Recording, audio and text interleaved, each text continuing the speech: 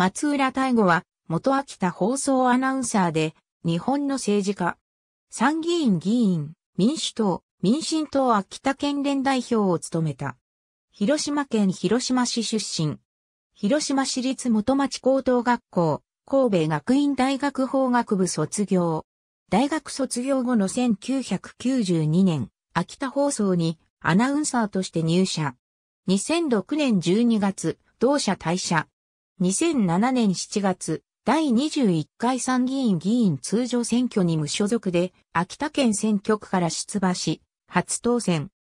選挙前は当選後の国会における所属について、民主党、社民党、連合、鈴木春月参議院議員の意向を聞いた上で、所属政党、会派を決定する考えを表明していたが、当選後の8月4日には一転、将来的な民主党入党を見据えた民主党、新緑風会への入会を希望。しかし、これに社民党が反発したため9月10日召集の第168臨時国会での会入りを見送った。その後、民主党は新党日本、国民新党を加えた新たな会派を結成し、社民党も松浦の民主党会派への入会を容認する姿勢に転じたため、松浦は2008年7月、民主党秋田県連に民主党入党を打診し、8月11日に県連常任幹事会で松浦の民主党入りが了承され、党本部も9月1日に常任幹事会で松浦の入党を了承した。民主党秋田県連幹事長を経て、2009年12月に県連代表に就任した。2010年6月、菅直人執行部で党副幹事長に就任し、農林水産、国土交通省に関する陳情を担当。2012年12月、予算委員会の理事に就任。2013年7月、第23回参議院議員通常選挙に民主党公認で秋田県選挙区から出馬するが落選。同年11月11日、民主党での政治活動を断念するよう強要し、供託金の分配も行わなかったとして、三井真理子から慰謝料など、契約2760万円を求める訴訟を、秋田地裁横手支部に起こされる。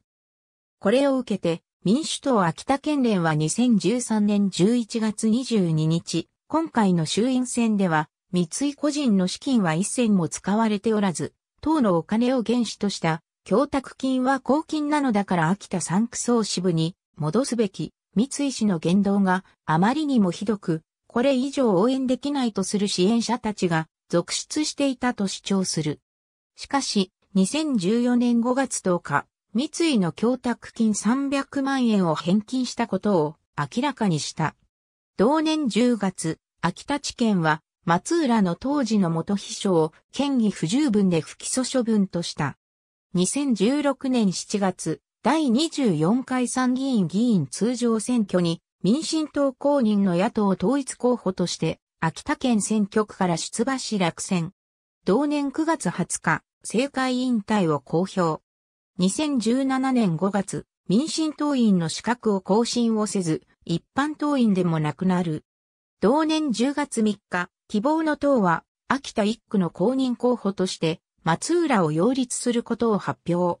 同年10月22日、小選挙区で落選し比例復活もならず落選。落選後の10月26日、本人公式ツイッターでゲイであることをカミングアウトした。翌10月27日、産経新聞がこれを記事に取り上げたが、希望の党がカミングアウトを阻止したと誤読されるとして、松浦は取材がなかったこととともに記事に不満の意を表明し、同日、同新聞の秋田支局長が松浦に誤読を招いたとして謝罪の電話をした。2018年9月、新潮45-2018年10月号に寄稿。特別企画、そんなにおかしいか、杉田水脈論文の中で、当事者の立場から杉田議員を擁護せず、認識不足を指摘し、LGBT の置かれている現状を説明し、杉田議員との対話を呼びかける。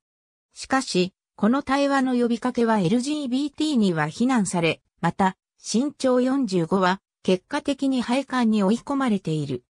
この経緯について、松浦は2020年7月に、日本ではほとんど報道されない LGBT とアンティファの関係、また国内における CRAC との関係を当事者側から説明する記事をウィルの2020年8月号に寄稿した。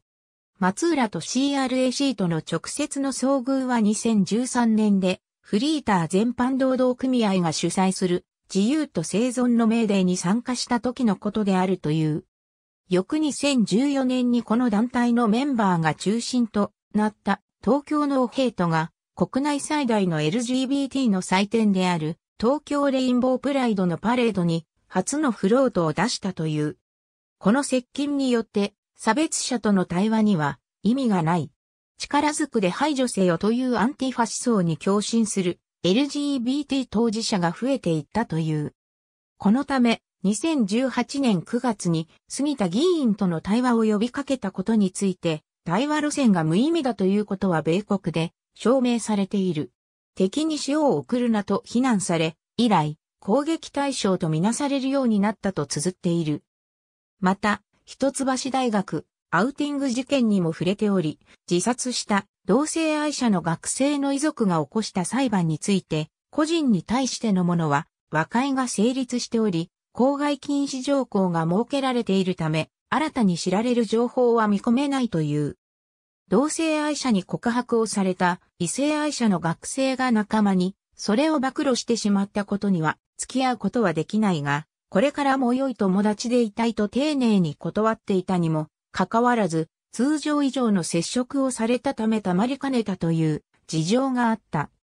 LGBT 活動家により、カミングアウトを暴露した学生の方が悪者だと、一方的にレッテル張りをされてしまっているが、異性愛者が同性愛者に告白されて誰にも相談してはならないとすれば、近寄ること自体がリスクと考えられてしまう可能性があることを懸念している。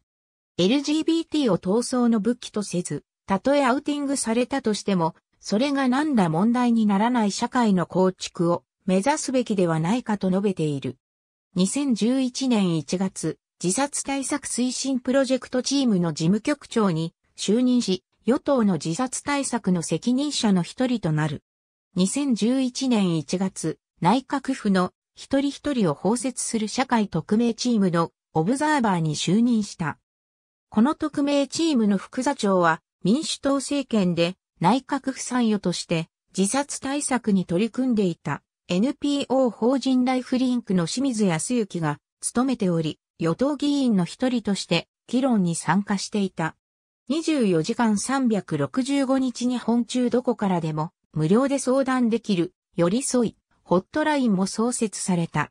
2012年4月には民主党内に設置された社会的包摂プロジェクトチーム事務局長に就任した。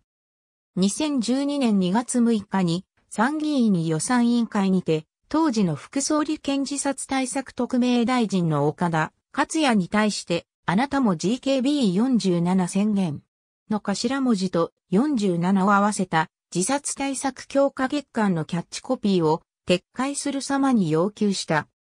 松浦は、これはアイドルグループ AKB48 をもじっただけではなく GKB が若者言葉でゴキブリの略語47が死ねの語呂合わせで政府はゴキブリは死ねと言っていることと同じだ。おちゃらけたイメージだから撤回してほしい。と、政府与党を批判した。予算委員長の石井はじめが仲裁し、当時の内閣総理大臣であった野田義彦も、過ちを改むるにはばかることなかれと松浦に対して答弁し、同年3月から開始された内閣不自卒対策特別月間のキャッチコピーから、あなたも GKB47 宣言が削除された。テレビラジオありがとうございます。